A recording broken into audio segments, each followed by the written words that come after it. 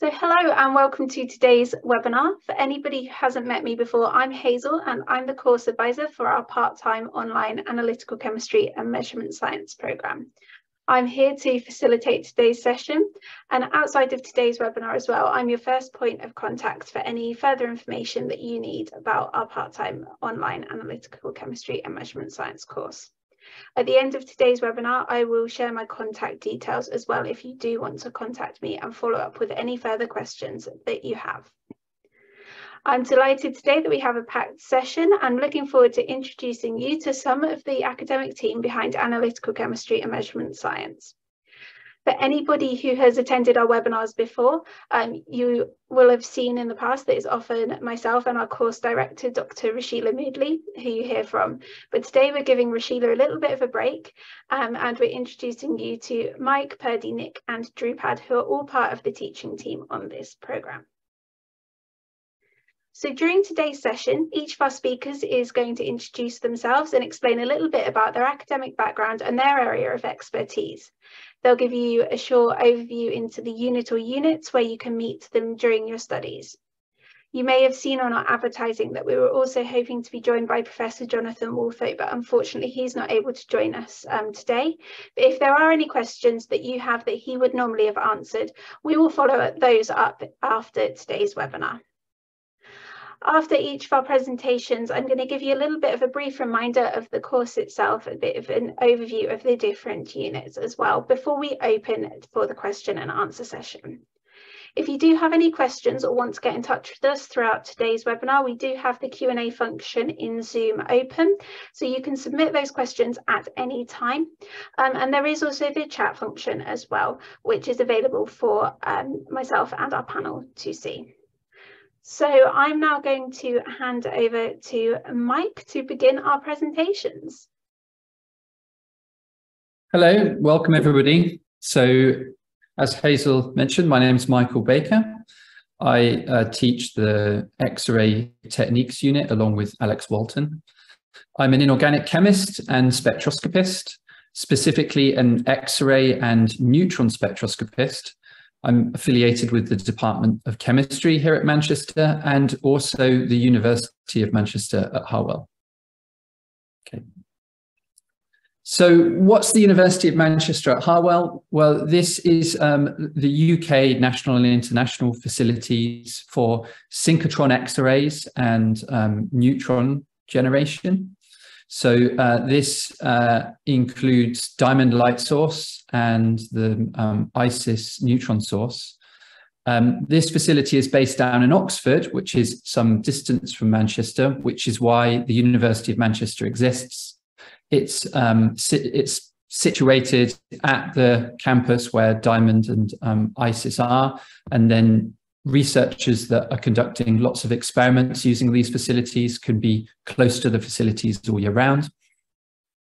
So um, I use both neutrons and X-rays in my research, and as part of this analytical um, unit, um, we will, if you go ahead for this course, learn a lot about um, X-ray methods. So this includes X-ray spectroscopies, which are um, really my speciality, and also X-ray diffraction and um, X-ray fluorescence.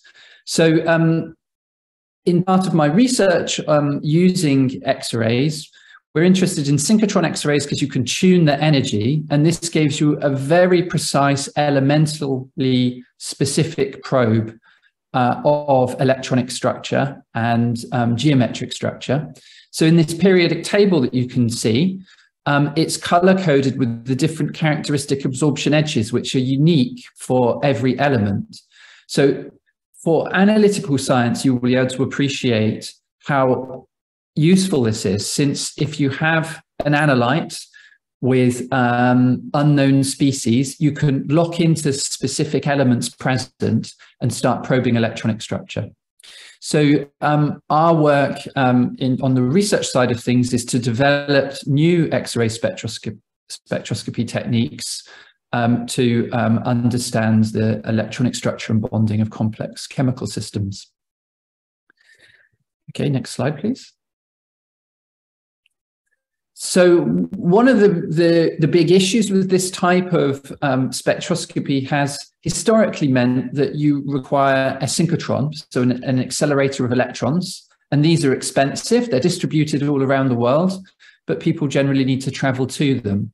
Um, and there's been a bit of a paradigm shift recently in that it's now become possible that you can do these types of measurements in the lab too. So while we travel, and I have a map here um, of Europe showing the different um, user facilities that we travel to, which are accessible to both industrial and, um, and academic users.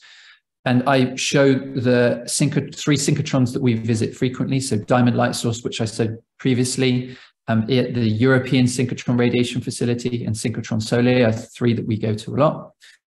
But I think the important thing here in terms of state of the art knowledge is that many of these X-ray absorption and um, extended X-ray absorption fine structure methods are now coming to the laboratory. And in the middle, I show an instrument by Sigray, which is one of the companies, along with easyXAFS and others, that are now producing these types of spectrometers, enabling them to come to the lab. So you'll learn some in, with this unit some very state-of-the-art analytical method that, that should be predominant in, in, in the future within the laboratory. Okay, Next slide, please.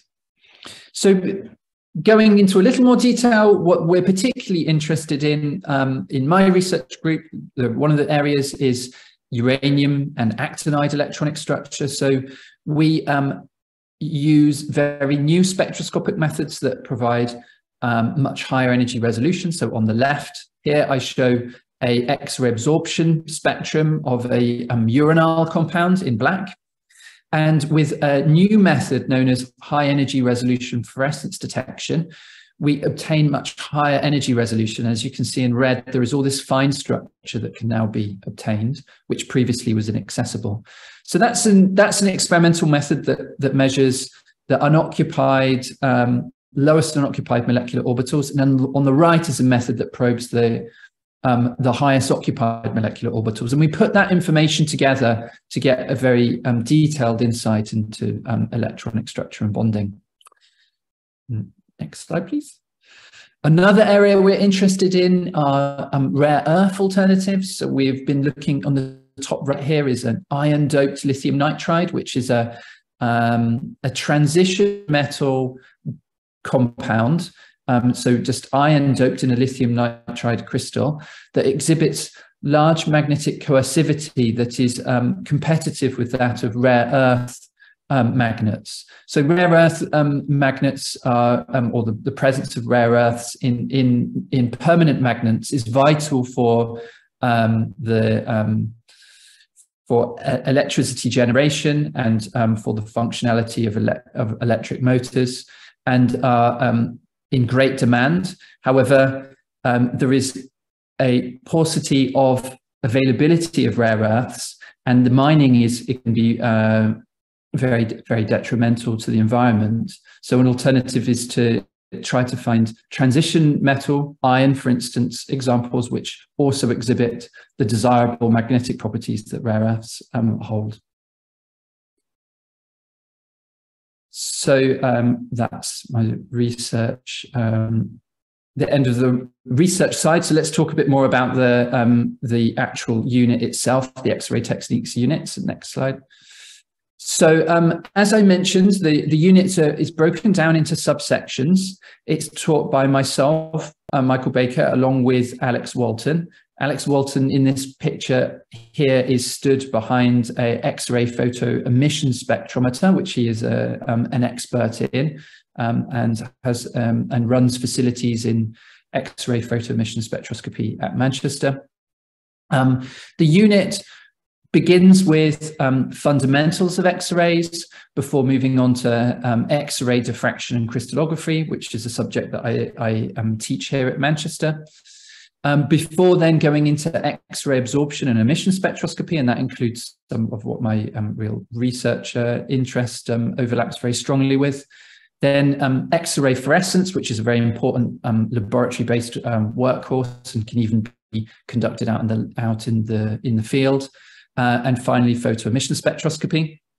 how will you be assessed? So initially for the fundamentals, the, along with um, some uh, um, tutorials and um, formative assessments, the um, the the assessed uh, side of things include initially some multiple choice questions, um, some presentation where you will pitch different ideas concerning the most um, suitable experimental techniques for solving difficult analytical problems. And you can you can bring along problems of your own perhaps um, scientific questions that come from your workplace.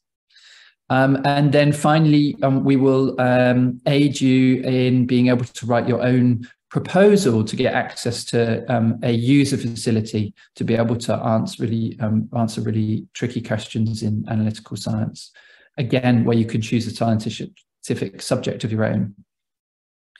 That's it. Thank you, Hazel. Thank you very much, Mike. And um, over to you now, please, Purdy. Hello, good to meet you all. I'm sorry, I'm just organising my tech. Um, so I'm Perdita Barran. I'm a professor of mass spectrometry at the University of Manchester.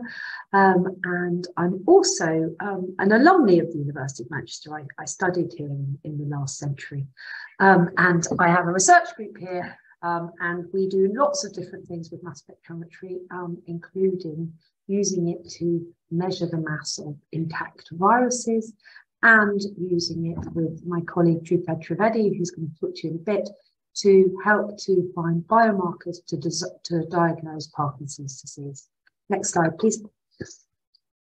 So um, if you were to join this course, you would be learning mass spectrometry. It's one of the core units, and it's a tremendously good place to learn about mass spectrometry because the history of mass spectrometry in Manchester goes back a really long way.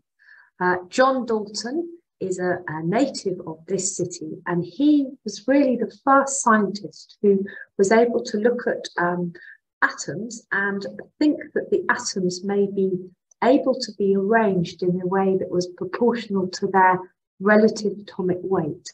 And this was about 40 years before any understanding of, of, of well, sorry, any development towards the periodic table, but it started to, he started to organize um, atoms in that way.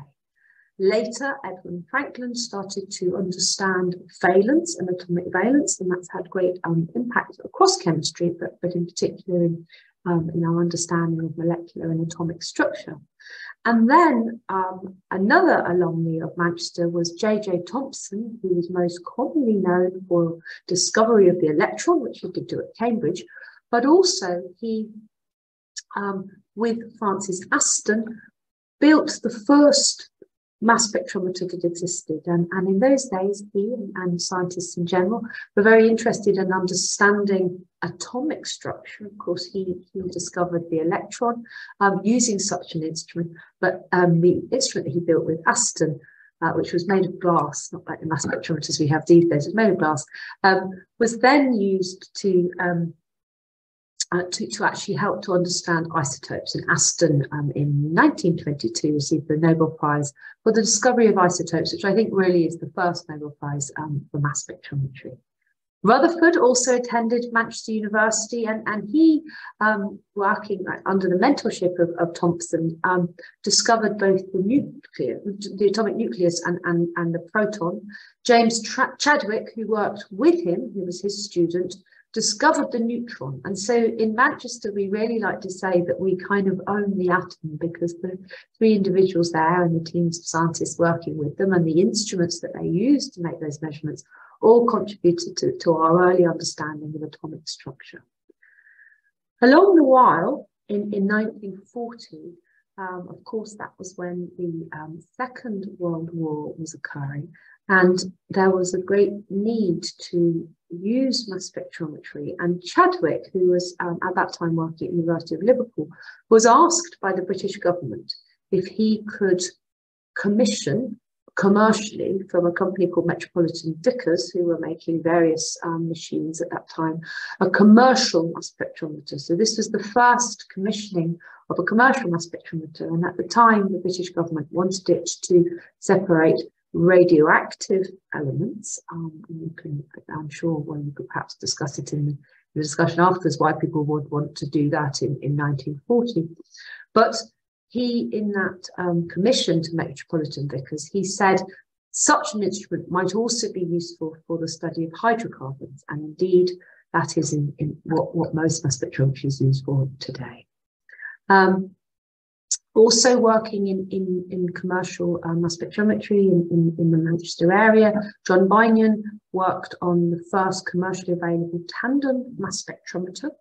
And later, uh, someone called Michael Barber, known as Mickey Barber, um, in 1981, discovered a method which is known as fast atom bombardment, or FAB, to ionize molecules. And that method really transformed the way we could use mass spectrometry because he showed, and people in his team showed, that you could use FAB, an ionization method, to put intact large molecules, as large as, as um, insulin, the protein in, in our bodies, into a mass spectrometer.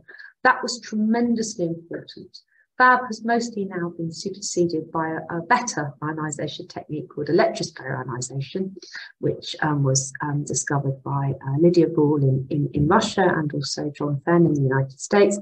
But but um, John uh, sorry, but uh, Mickey Barber really showed that that could be done and really, really helped to, to make people think that mass spectrometry could be used to look as, as large as things as, as protons, uh, proteins and biomolecules.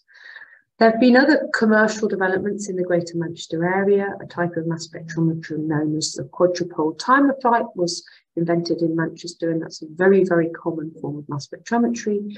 The Orbitrap mass spectrometer, which is a relatively new type of mass analyzer, was um, uh, put together in Manchester by someone called Sasha Makarov, and uh, commercial ion mobility mass spectrometry was also developed in Manchester. So this fantastic timeline of inventions and, and people who contributed to those inventions, um, it, it, just shows you the heritage of, of mass spectrometry in our city. Next slide, please. So in this course, you will learn, and I've put, put, some pictures of mass spectrometers there. These are sort of commercially available ones, and that you can see them, and they all just kind of look like plastic boxes, don't they? Well, what you're going to learn is about what's inside the boxes. You're going to learn about the fundamentals of mass spectrometry and how we now apply it to the analysis of chemicals and, and biological materials. You're going to learn about the different components of a mass spectrometer. They all consist of an ionization source, I've mentioned a few in, in that introduction, and they all consist of some form of ion optics, which are a little bit like light optics, but they're used to focus and move ions through the instrument. And you will look, and they also all consist of a, a mass analyzer and some form of detection system. And you will learn about those components and the ways in which mass spectrometers can be um, operated to allow you to do, well, the way I call it is to allow you to play with molecules, to allow you to find out what they are We'll learn about the common methods of ionization and how to best choose the right method for the sort of compound you want to analyze. And as mentioned, you'll learn about the fundamental physics that allows us to manipulate ions when we put them into these boxes. We will talk a lot about hyphenated mass spectrometry, and, and um, Nick Lockyer, my colleague, is going to talk to you about the first part of that. But we talk about how we couple chromatography to mass spectrometry, which is really, really ubiquitous and is the way in which most people will encounter mass spectrometry in, in their working um, research lives. We'll learn about how we perform experiments known as tandem mass spectrometry experiments, where we first might use the first part of a mass analyzer to pre-select only ions of one mass to charge and use the second part to look at the fragments that happen if we if we break that molecule up. And we'll learn how that gives us better diagnostic information to tell us what the molecule is. And most importantly, we will teach you the skills that you need to interpret spectra and how to apply that to a wide range of biological and chemical samples. We use examples that are taken from colleagues here at the University of Manchester who synthesize molecules. So we have real molecules and real mass spectra taken from research samples, and you have to um, learn how to interpret them and learn how they were done. Next slide, please. So how will you be assessed? Um, one of the main parts of an assessment is um, uh, is to think about what you're going to learn. And quite early on, I asked people to write an essay on a, on a really exciting development in mass spectrometry, something that's been transformative, and get people to look at that and write it in the style of a, of a journalist, of a news and views article. So how you would tell your grandmother or your best friend something about what, what, what mass spectrometry can do.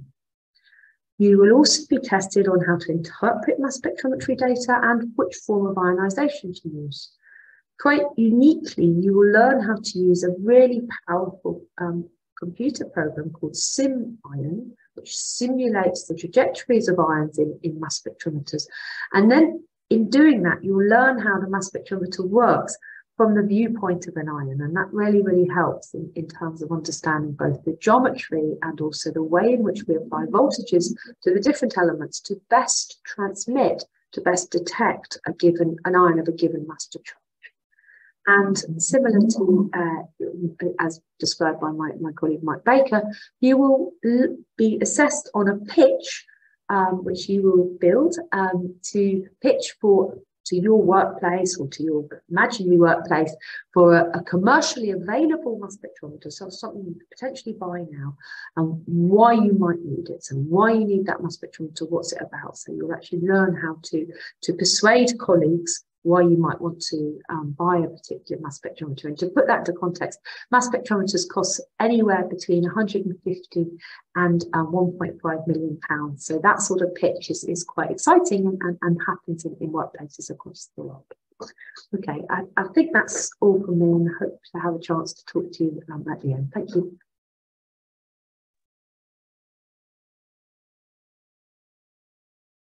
Okay, thanks, Purdy. I think I'm next up. So my name is is Nick Lockyer, um, and I'm teaching on the uh, on separation science um, unit within the course. Next slide, please, Hazel. So um, I'm not a sort of native of Manchester, unlike um, some of the colleagues that that Purdy has previously mentioned. Um, I was born a little bit further south near Oxford. Um, I came to Manchester um, principally for two reasons. So if we can move forward the next two slides, Hazel, we'll see two of those reasons coming up. Um, so I actually joined uh, University of Manchester Institute of Science and Technology, UMIST, which is one of the founding institutions of what is now the University of Manchester. Um, shortly after the, this, this gentleman shown here, Alex Ferguson, um, came to the city to, to manage Manchester United. So uh, the fact that Manchester has the greatest football team in the world, and um, also shown below there, some of the greatest live music acts in the world was one of the, the reasons that I, that I came to the area. Um, and I, am still here now. So I've, I've progressed through um, my BSc, uh, my first degree, my PhD, uh, a, a, special research fellowship that I took in, in the kind of analytical chemistry area, all at UMIST. And then as we merged into a university, I became a lecturer and now a professor of physical chemistry. Um, and although, as we'll see, my research interests are mostly in an application of mass spectrometry, um, I've been teaching separation science within the university for about 15 years and uh, currently the head of the, the physical chemistry teaching section. Next slide, please, Hazel. So um, a couple of slides about my research interests. So really um, what I'm most interested in is developing technologies and instrumentation uh, which are capable of generating um, surface, surface chemical maps. So a little bit like doing some microscopy, um, but using chemistry rather than, than photons. So using techniques that are based on mass spectrometry, we were able to probe the surface and indeed the, the subsurface regions of, of, very complex materials and therefore identify um, the changes in the chemistry as we go through these materials in, in terms of depth and also across the, the surface in two dimensions. So this involves bombarding these materials as shown in the cartoon in the center of the screen, bombarding these materials with what we call primary ions, a little bit like the fast atom bombardment method that Purdy mentioned previously, um, to, to knock off or eject um, secondary ions, which are characteristic of, of the surface chemistry. Those could be simple um, atomic ions, or they could be quite complex um, molecular ion species. And then we measure those um, mass to charge ratios using a mass spectrometry technique, typically a, a time of flight method as shown in the, in the cartoon on the left. So depending on the mass of the ions, they take a different time to fly through a flight tube and be detected at the far end. And because we can focus this primary ion beam into a small area and then move it across the surface, we can, we can get very spatially localized information, spatially resolved um, mass spectral image, we, we determine it. And then in, in the bottom of the slide here to the right, you'll see a, a, what we call a depth profile. So here we're actually looking through a smart screen display. So this is like your, your mobile phone screen. And on the left-hand side of the plot, you see the surface chemistry. And as you go deeper into the, into the device, uh, revealing the underlying surface chemistry and many advanced materials, including um, OLEDs that these um, smartphones are, are, based on, the screens are based on. They're, they're very dependent on the detailed arrangement of chemistry in 2D and in 3D. And so it's very important to be able to measure um, this distribution, both in order to ensure the kind of quality of these products and to develop new and more advanced and, and, and better performing materials, but also to be able to pick up defects and understand um, how these defects can impair the performance of these devices. So that's an example in the concept of sort of uh, advanced materials chemistry. Uh, next slide, please. But we often apply it also um, in, in, a biological context. And here we see some examples of, of data from our lab of, um, of, cancer cells. So when you have um, a, a, cancer in a, in a hard to reach area, for instance, a, a brain tumor, um, rather than just um, doing surgery and, and, and, taking out the, the affected tissue. These are often treated by more um, less invasive techniques, such as sort of um, uh, a, a, sort of radiation-based method. And so here it's important to put um, radiotherapy drugs into localized areas and then to target that radiotherapy so that only the tumor regions are affected and destroyed by the radiotherapy and the surrounding uh, more healthy tissue is not affected so much. So we were able to take samples of human brain tumor from, um, from volunteers and explore what the localization of one particular um, drug, which contains a boron atom in this case, was in, in these samples.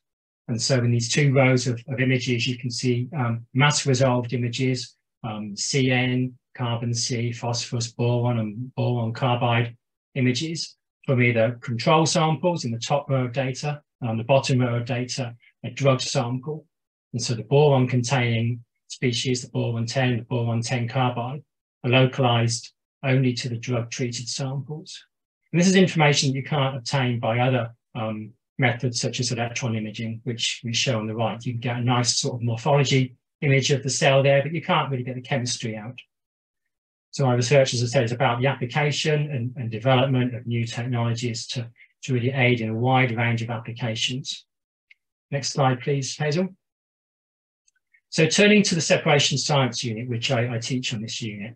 So separation science is about separating, identifying, and then measuring the concentrations of components within very complex samples. So it's applied in a very wide range of, of industries and a very wide range of, of scientific research. So a few examples that I've shown here from from the Journal of Separation Science, just some front cover articles that I picked out. Um, so in, in the food industry, for instance, the food and drink industry, it may be important to try to measure and quantify and identify certain kind of flavoring um, ingredients, for, for, instance, in beer here. Um, and in the center image, we see an example of how it can be important in environmental analysis. So in detecting nitrates, um, fluoride and chlorine, um, in, in, a water system and how that can impact on the on the ecosystem. And then obviously in, in the sort of medical developments, it's very important to be able to deal with, with complex samples. And this is where separation science using methods such as chromatography is often coupled with mass spectrometry for more specific, more sensitive, um, more informative measurement of detailed things like drug metabolism at very low concentration levels in complex samples such as biofluids and tissues and individual cells. So a very wide range of applications um, spanning industry uh, and also scientific research. Next slide, please, Hazel. So in this course, um, you will be exploring some of the theory, the underlying principles of methods of separation science, principally column chromatography, mostly gas chromatography, and liquid chromatography. And we'll look at the kind of methods involved, and, and how those can be optimized for particular applications, and then looking at some current applications of these methods in, in a wide range of different areas. So you have access to an electronic textbook, which provides some of the theory, uh, lots of on interactive online content, um, including simulation software. So you'll be doing some virtual lab experiments where um, you'll be set a task and you'll be running virtually using this simulation software shown in the center of the screen, um, the sort of method development to try to optimize the separation of various components. And then importantly, we will bring this up to, up to date with some of the latest research. So you will be able to delve into some of the research literature, identify articles that are interesting or, or particularly kind of relevant to your, your place of work or your interests, and then relate the course content to the very latest developments in the field. And then part of the assessment will involve you writing short summary articles um, of some of the research that's currently being done and linking that with the with course content that you've learned. we have plenty of formative exercises and tutorials to support you in all of this. Um, so that's it for separation science. Thank you, Hazel. That's great. Thank you very much, Nick. Um, and thanks, Purdy, for your earlier presentation as well. I'm going to hand over to Drupad now. Hi. Um, so my name is uh, Drupad Trivedi, and I'll, uh, i lead the chemometrics unit, which is one of the uh, optional units uh, in the course. Uh, I teach on multiple courses apart from this one. Uh, so I teach in School of Chemistry as well as biology within the University of Manchester, and uh, it kind of reflects the multidisciplinary research interest my group also has. So I'm based in uh, the Manchester Institute of Biotechnology, where we use lots of analytical methods uh, to look at lots of biological as well as chemical systems. Uh, what my group is really interested in is measuring small molecules, like uh, Professor Barran said earlier. And we look at these molecules uh, in biological systems. Uh, but the cool part of the entire research is what's the point in looking and measuring things with such high resolution instruments if we can't really mine the data? So you might have heard of ChatGPT, right? Uh, everything that's get, getting cooler or nicer uh, in, in a sense of mining stuff is all reliant on data. Uh, and that's what my group is really interested in is uh, how do we use the chemical data to make better models that can predict a chemical system. Now that system can be embedded within uh, in a wastewater. It could be something that's embedded in soil samples, or it could be something that's in a biological system. Uh, but these chemical reactions happen all the time. And can we use the measurement data that uh, all the three academics before me have shown you with three different, very different techniques? Uh, can we use these data to try and build predictive models of something happening before it happens? Uh, so that's what mostly chemometrics unit covers. Uh, we look at uh, something called metabolomics, uh, which is study of small molecules. And uh, just like any other techniques, uh, we, we measure lots of different chemicals. So I've, I've given a representation figure here on the top where you see uh, Excel spreadsheet where you've seen lots of columns here. And this might represent something you measure in your day-to-day -day life, or you might have seen it before. So we measure lots of features or lots of chemicals in our data. Uh, let's assume it's measured on, say, an X-ray technique or a high-resolution mass spectrometer, probably hyphenated to one of the separation techniques like chromatography. And in each of the cases, you measure some sort of response from the instrument because you detect that analyte. And you might do it iteratively over lots of samples. Uh, here I've shown four or going up to n. But depending on the size of your experiments, you tend to collect lots of data. So within chemometrics, the idea is to extract the information from this sort of metrics of your measurements uh, and try and build uh, data-driven models uh, from this data. So you interrogate, the, you interrogate this data using lots of statistical computing. Uh, so within this uh, particular unit, what you learn is one of the languages called R. And what you'll do is you'll try and build model on data that you probably haven't seen, but lots of example data from real experiments. And uh, while you learn the statistics uh, that are relevant to interrogate different types of data, what you'll also learn is how you can visualize this data to understand what's going on within the system better as well. Uh, in this unit, what we also do is uh, what you see in the picture here is we learn how to write these things in codes as well. So simple code, which is shown in uh, this particular scenario, a dot chart, can create a scatter plot for you for example, and all it needs is one line of code with three different commands. And we learn through these things uh, in the unit. And the reason we learn to do different kind of analysis and visualization by code is because it's more modular and you can do things uh, with your data, which is not restricted by a software. Uh, so by the end of the unit, what happens is you go through different kind of data types, you go through different type of chemical data that you measure using all the different units you've gone through before. And all this real data is interrogated for their statistical significance and to see if the data actually means anything. Because you could have high resolution mass spectrometer and you could measure lots of analytes, lots of chemicals in a really good uh, experiment that you've set up. But without any kind of statistical significance to the data, it's pretty much meaningless and you can't reproduce it. So we look at how we can find these reproducible signatures within our data and then visualize it using codes. So by the end of the unit, you'll be able to perform analysis right from the scratch on your own data and also on the data sets that have been provided as example. Uh, next slide, please. So what do you learn in this unit? So over the 10 weeks, uh, we start off with very basic concepts and very basic studies of statistics. Uh, we talk about things that you might be already familiar. So we'll talk about significance testing and t-test that you might have heard of or done it in your uh, previous life. But what we also talk about is also complex experimental design. So we try and think of statistical or mathematical ways to design an experiment where you don't have to analyze something over repeated number of measurements because although we are going towards uh, high resolution, new techniques, hyphenated techniques where we generate complex data, you're also going towards the area where we have experiments that cost a lot of money. So can we try and design experiments where you don't have to really run the sample, but you can predict what will be the best combination of parameters that you can use. So you don't have to run 10,000 samples, you only have to run 30 or 40 of them. And by doing so, we can uh, think of uh, designing a really robust experiment, which is what we go through in one of the uh, weeks uh, in this course. And gradually towards uh, the end of learning the concept, what we do is we learn on looking at the data uh, in terms of what structure it has. So we look at the data in terms of not just chemicals, but rather look at the numerical structure of these data. And then slowly we start learning to code. So we'll go through something called RStudio, uh, where I've designed interactive exercises. So it goes through uh, teaching you while you're coding as well. Uh, and it seems to be rather popular during the course. So from about week four, you start getting, uh, you start doing things practically uh, on your own laptop. Uh, we go through a few tutorials where you can bring your own data and we, you apply the same techniques and same knowledge you're learning on your own data in real life while you're learning what's on Blackboard already. And then slowly we start uh, going into the machine learning and AI part of the things where the whole chat GPT comes in. So you're then trying to think of uh, a way of building your own little chat GPT for your own uh, chemical data.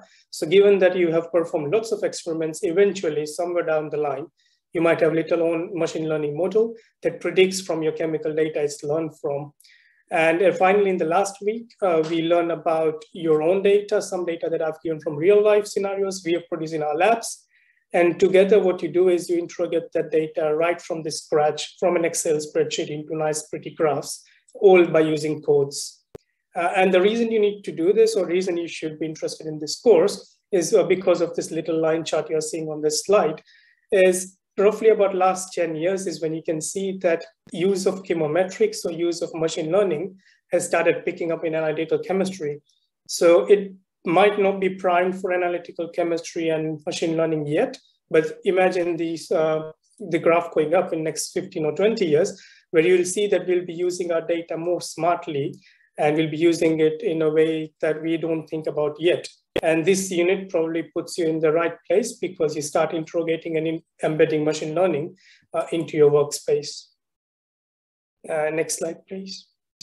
Uh, yeah, and finally, in terms of assessment, so while you're doing this, you're continuously being sort of assessed. So every week, what you do is you write a reflective blog of how you are developing and learning new skills in this course. Uh, but what you also do is you do knowledge check MCQs, which are formative assessment. Uh, and between these two things, uh, you try and see how much you are adding value each week as you go. In terms of summative assessment, uh, there are tasks uh, throughout the 10 weeks where you analyze statistical data, you make meaningful assumptions and uh, interpretation from it, and you write a one or two page report on that particular data set explaining what you've done and what the result means. Uh, and the idea is by the end of 10 weeks, you should be able to read a relatively complex statistical or chemometrics paper and be able to interpret what the author was trying to say. And that's one of the assessments you also do. Uh, what I've done in this slide is I've put some of the Blackboard comments that I've got from uh, previous cohorts. And as you can see that students on this unit particularly are from very different backgrounds. Some who had some uh, experience of statistics or chemometrics, some with some experience of code and some had no experience of coding as well. Uh, however, different concepts have struck different students very differently. And these comments reflect how some of the things they were doing routinely, uh, but was never as a concept of statistics or chemometrics, uh, but now it makes more sense. Uh, so I hope that these comments from our past students uh, gives a broad overview of what the value of this unit is within this course. Uh, and but that's pretty much it. So, Hazel, I'm done. Yeah, thank you, Drupad. Um, so Thank you to all of our um, academic team who've just presented um, as well. So what I'm going to do now is I'm just going to give you um, a little bit of a brief reminder of the analytical chemistry and measurement science course itself and just show you the different units that make up the programme. So today we featured four of those units, but there are um, more different options available as well. And we hope to be able to come and introduce those additional units um, at later webinars too. So there are four different study options for analytical chemistry and measurement science, which starts with CPD, which is continuing professional development, where you'll study individual units. And you can also work your way through and work up to either a postgraduate certificate, postgraduate diploma, or the full MSc. So that depends on the type of qualification that you want, depends on the number of units that you want to study. Study routes are flexible with this program. So if you were to start off by studying just the CPD, perhaps just one unit to see how you're finding studying online and alongside um, working full time, or perhaps starting with something like the postgraduate certificate, there is the option to then later transfer onto something like the postgraduate diploma or the full master's degree as well. So we have um, a wide range of units. Obviously, we featured a few of those today, and each of those units run at different times in each academic year. What I've done is I've just put into the chat for everyone um, more um, links to where you can find out more information, and that includes our course brochure where you can see the time of year that each of our course units is next running. And you'll study, if you're studying for um, what the master's or the postgraduate diploma or the postgraduate certificate. Each unit um, is you study them one at a time, and that's so that it's manageable with, alongside full-time work. And these units last for 10 weeks each. During those 10 weeks, you'll access your learning materials online and you'll work towards the deadlines outlined at the start of each unit. Everything is coursework based um, in our units as well. So there's the, not the need to be set, sitting an exam at a particular time, like the, the, there might have been if when you've been studying undergraduate courses. Those people who go on to study a master's, you once you've completed all of the taught units, you then move on to studying the research project. So there are three options for the research project. And the option number one is probably the option that most students will go for, which is studying a project with your current employer. So that's where it means you can tailor your project to your current area of work and your current area of expertise. Alongside um, your industrial supervisor, be someone who you work closely with, um, you will also gain support from the University of Manchester with an academic supervisor.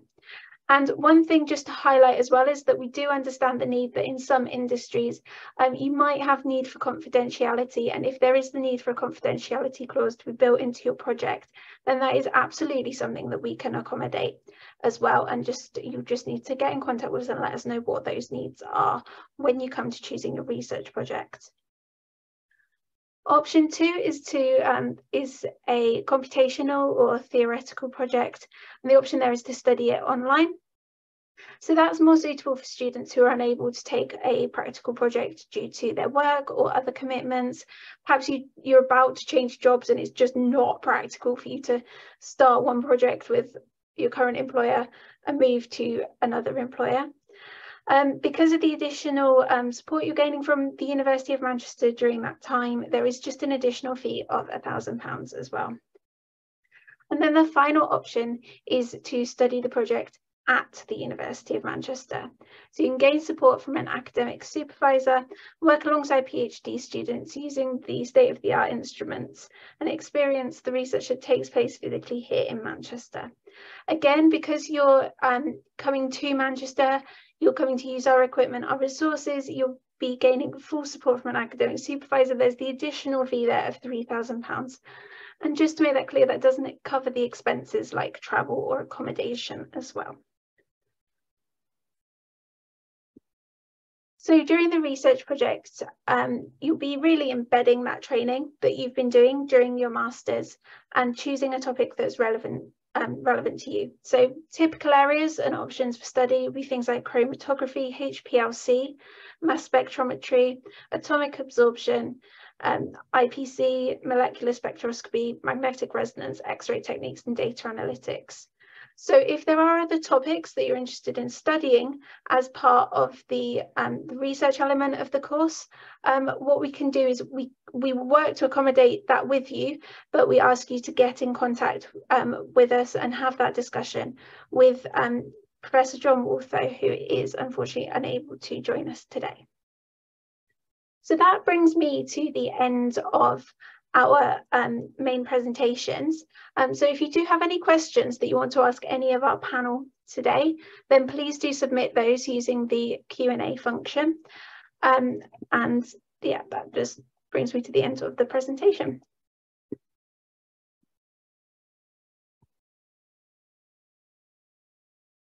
So just while we're waiting um, for any questions to be submitted, um, Nick, I noticed in your presentation you hadn't mentioned um, a huge amount about the different types of assessments um, that separation science covers. Would you be able to give us a bit more detail on that, please? Sure, yeah. So in separation science, um, there are two uh, multiple choice online tests um, that are towards the front end of the course within the first, I think, six weeks, um, more on the kind of fundamentals and the theory. So these are randomized online multiple choice quizzes. Um, and then um, following some formative uh, assessment and feedback, you then get a summative assessment on your précis, which is choosing a research article of, your choice, relevant to the, the unit, of course, um, and then writing a, a, short summary of that.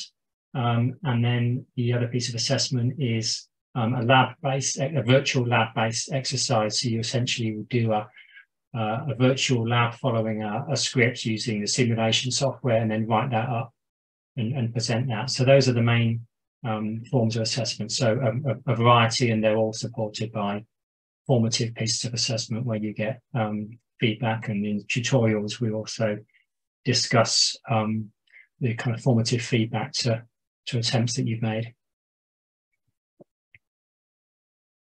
Great, thank you. So I can see we've had a um, question submitted here um, relating to the MSc by research. Um, so just to just to make you aware, um, today's presentations um, and everything that we've been discussing with different units relate to a postgraduate taught programme, which is the Analytical Chemistry and Measurement Science course. So MSc by Research is a separate programme. If you've already applied or you have questions about it, um, you would need to um, send an email to pg.chemistry at manchester.ac.uk. Um, and that's the team that look after that, and they will be able to support you further with those questions. Um, so the other thing that we do get asked a lot is about um, funding and payment options um, for this course. So at the moment, we do have an uh, we do have an early application discount in place for the programme and that is um, if you submit an application by Monday, you can save 10% on your save 10% on your tuition fees. In addition to that, there is also an alumni discount that is in place, um, and that is again a, that's a saving of 10%. So if you are interested in and study. If you've studied with us previously and gained a qualification from the University of Manchester, you can still save 10% on your fees, even if you have applied um, after that early application deadline. Um, I can see somebody's raised their hand um, there. Can you type your question either into the chat or the Q&A, please? And then we'll be able to support you with that. Um, the other funding options that people often ask about is you can be sponsored either fully or partially by your employer. And if you do want any further information about that, then you can email me at studyonline at manchester.ac.uk and I'm happy to arrange a conversation with you to discuss your specific, um, specific case. Um, okay, so we've got the next question here. Um, so are we able to link? Uh, sorry, we've just had three questions coming in at the same time. Um, are we able to link ICP OES with ion um, chromatography for detecting halogens, or is that not recommended to couple two different instruments?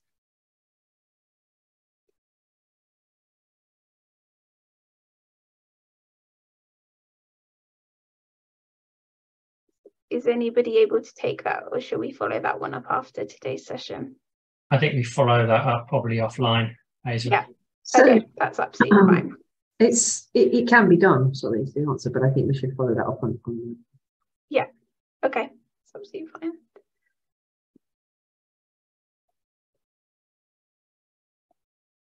Um, so there's been a question about different scholarships that are available. If you use the link to the course um, you use a link to the course web page, we have a full list of the scholarships that are on offer for this course. Um, and those, I'll place that um, in the chat again for you. Um, so the the specific scholarships do vary depending on different people's individual circumstances. Um, so, and there is a fees and funding section on our website, scholarships that specifically relate to this program.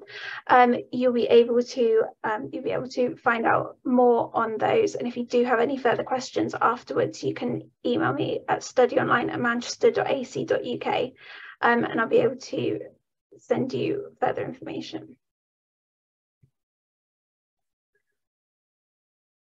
Um, okay, and so the next question we have is about how the course is structured weekly. Um, is there a designated day per week or does that change? Um, so for the most part, um, you will be working through each of the units at your own pace. Um, and so you have those 10 weeks, those 10 week blocks that you're learning those units in and you work through those at your own pace to, um, to complete the learning materials. There's a guide in our virtual learning environment where it's week one, week two, week three. But the most important thing is that you're you're trying to keep to that as much as possible. Maybe one week you're slightly ahead, so you start the the week two learning during week one. Um, but then week two is actually quite busy for you, so then you're back on track by the end of it. You can work through those at your own time. But the most important thing is that you're meeting those deadlines. There are tutorials as part of those, um, there are tutorials as part of each of the units. Um, I will ask uh, my academic colleagues, do you have particular days that you run your tutorials or can they vary depending, um, depending throughout the unit? Yep. So I tend to do my tutorials on the same day. Um, every week that I do them, there are six uh, in, in mine, and there's also presentations. Um, I think the presentations are likely to, to move to video format in, in the near future, but I tend to have my tutorials at the same time. Um, and UK time, that tends to be five. There's people joining from, from all over the world, so that, that tends to be quite a good time for everyone. Um, I think in, in future years, because of the number of applicants, it's likely that we will have both um, you know, tutorials scheduled at time zones that suit uh, the, the, working lives of, of people um, joining. Um, but, but for me, at least, it, the tutorials tend to be on all on the same day. Yeah. Yeah, and in separation science, they tend to be on the same day, um, usually a Friday um, and usually at the same time. So I'm, I'm very aware that depending on where you are in the world, that may not be as convenient as it is to others. Um, so as Purdy says, uh, as the cohort grows, um, we, we may offer um, alternative times or kind of group tutorials such that people in different parts of the world can join at, um, uh, time's convenient for those. But those tutorials are also recorded. So although you don't have the benefit of, of joining in and, and, participating, contributing, if, if you're only watching the recorded material, you at least gain some benefit from watching them back. Yep, and Mike, Drupad, did you have anything extra that you wanted to add at all? Um, tutorials for for my um, we have uh, four tutorials and they um, there is some flexibility in the timing, but um, like Purdy, we try to keep it um, as flexible to the to the working hours of the cohort, um, depending if they're inter how international it is. Yeah. Same for mine. We use our first tutorial time to decide when the other three should be. So it's pretty democratic and we try and fit the tutorial time. It is fixed, but we try and fix it so that everyone can attend. Yeah, that's brilliant. And I guess the other thing as well, it's worth making um, everyone aware of is that, you know, during your studies, you have access to the virtual learning environment with all of those learning materials there's discussion boards on there. So if there is a question you want to ask, you could perhaps put it on there, but you also have a University of Manchester email address. And so if you do have a specific question that, that you want to ask and you want to check, there is the option to send, send an email and ask that question outside of those specific tutorials if you feel that that's necessary as well. Um,